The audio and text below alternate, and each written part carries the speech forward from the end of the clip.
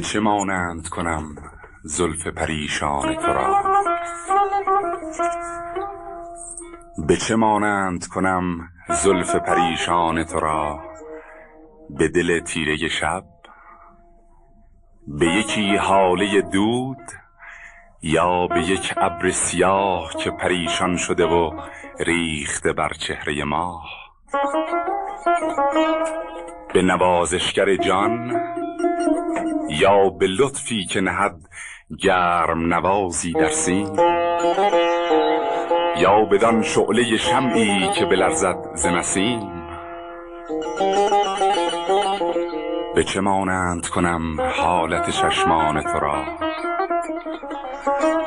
به چه مانند کنم حالت چشمان تو را؟ به یکی نقمه جادویی از پنجه گرم. یا به الماس سیاهی که بشویندش در جام شراب.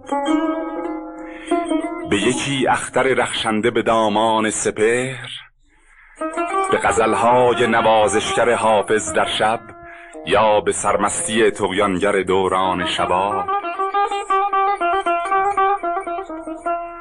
به چه مانند کنم سرخی لبهای تو را؟ به یکی لاله شاداب که بنشسته به کوه به شرابی که نمایان بود از جام بلور به صفای گل سرخی که بخندد در باغ به شقایق که بود جلوگر بزم چمن یا به یاقوت درخشانی در نور چراغ.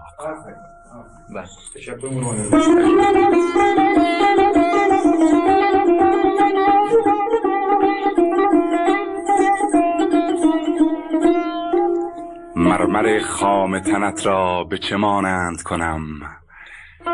به بلوری سیراب؟ به یکی ابر سپید؟ یا به یک مخمل خوشرنگ نوازشگر گرم؟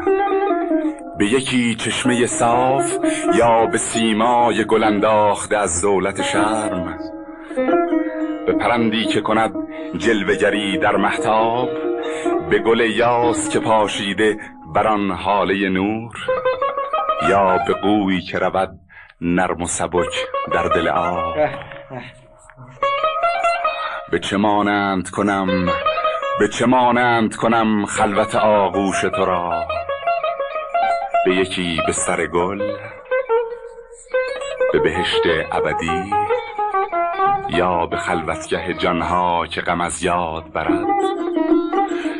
به نفسهای بهار یا به یک خرمن یاس که شمیم خوش آن را همه جا باد برد به چه مانند کنم؟ من ندانم. به نگاهی تو بگو به چه مانند کنم؟ بسیار